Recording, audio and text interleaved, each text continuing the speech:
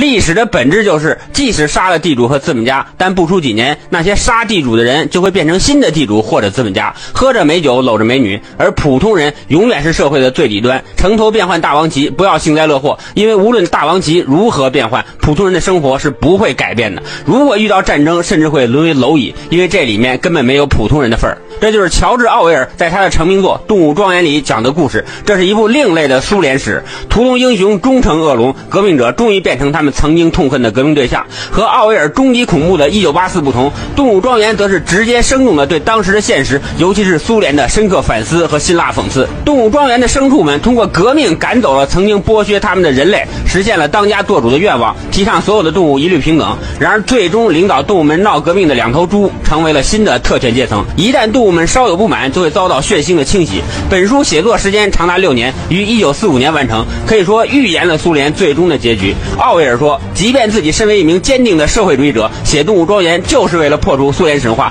同时警告全世界，这样的事情随时可以发生在世界的任何地方。苏联一个看似蒸蒸日上的强大帝国，其实完全生活在谎言里，对外用虚假的数字撑门面，对内则用旧政权和逃亡者的阴影与恐惧来维系统治者的合法性。奥威尔说，所谓的苏苏联神话就像这个农场里动物的闹剧，这一最根本的比喻奠定了这部作品盖棺论定的立场基调。而苏联最终的解体，更是证明了奥威尔的伟大预言。动物庄园的荒诞性贯穿始终，从角色形象的对应到以动物般的行为来比喻这个国家，既带着生动和幽默，也透着辛辣的讥讽和正义的拷问。无论任何时间、任何地点、任何国家，动物农场和一九八四永远值得我们警醒。